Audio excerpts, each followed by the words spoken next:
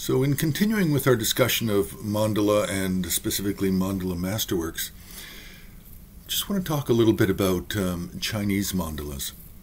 Now, of course, Chinese mandalas are following after the Himalayan and Tibetan style, and the Tibetan style, of course, is actually coming from Nepalese uh, style, Nepalese sources, and uh, the Tibetans didn't didn't change things too much uh, for the actual mandala, what they did is they, they at times changed the the, the landscape, the, the framing of, of uh, what's outside of the circular uh, mandala. Now, China did generally the same thing. The, the mandalas are, are still following very tightly with the Tibetan and Nepalese models, but the outside can be very stylish and different um, and so that's how we really recognize uh, the difference between Chinese mandalas, Nepalese, Mongolian, and Tibetan. Now, for Masterworks, we really only have about about 12 on the HAR website. And it really does account for kind of a majority of the Chinese mandalas. Uh, a lot of them are really quite good. China was never really into mandalas. It wasn't a big deal. We the oldest one we have is uh, is 13th, 14th century. It's a textile and it's out of the Yuan period. So it's the Mongol period and, and also we could say the Sakya period of. Um, of um, being the tutors to the principal tutors to the Mongol um, uh, Khans of China. So that's the earliest, but then we kind of skip the the the Yongle and Xuande period. Uh, I have not been able to identify any uh, painted examples at this point. Now, there will most likely be Yongle and Xuande possibly as murals, but I, I don't have um, any images uh, of those at this time. Um, so then we really jump. So we really have an early period and we have a late period we have a middle period, but we have no examples from this middle period. So we have an early period and late period for Chinese mandalas. The late period is Kangxi and uh, Qianlong.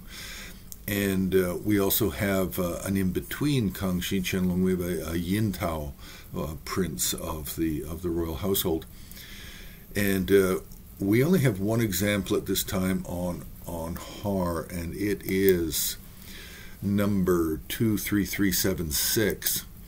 Um, and it's a symbol mandala. It's a symbol mandala of uh, Vajravarahi, but it has beautiful um, uh, cloud landscape above, and in the foreground is a green, um, uh, lush um, um, hills and pasture land.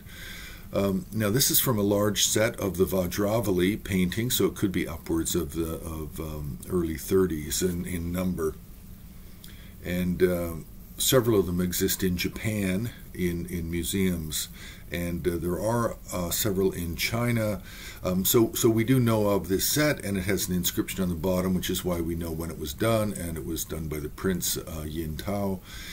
And um, also, it was um, the person overseeing the production was Changkya, the famous Changkya Rolpai Dorje, the teacher of the Qianlong Emperor and close, close confidant of the Qianlong Emperor.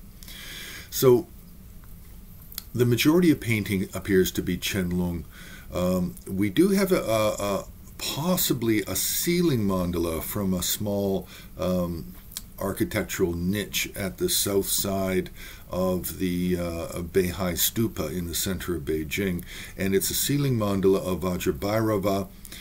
Um, very little damage during the Cultural Revolution, but it's hard to say whether or not it's original to the uh, to the stupa, which was uh, built to commemorate the fifth Dalai Lama's visit to Beijing in the in the 17th century.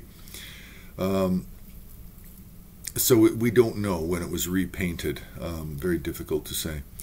Um, okay, otherwise, what we have is we have a number of different sets of paintings um, that were done during the time of Qianlong, and, and they generally appear to be of the Vajravali, but then also we have indications that there could be some Nartang Gyatso sets. That's uh, um, a, a, sort of a collection of uh, mandalas and practices that were put together by Chim Namkha Drak, and that's in, the, I believe, the late uh, 14th century, uh, out of Nartang Monastery. And uh, there appears to be evidence that, that there's some Nartang Gyatso um, images as well, which which are different from the Vajravali. Some some of course are the same, but then others are different. Um, so it's quite interesting. Now, a number of the examples we have here actually still reside in the Palace Museum. They reside in the Tibetan, um, in the, the the Tibetan, I don't know what you would call them, temple rooms um, in the uh, Forbidden City in the Imperial Palace in Beijing. Um, and uh, clearly done in this uh, Qianlong style.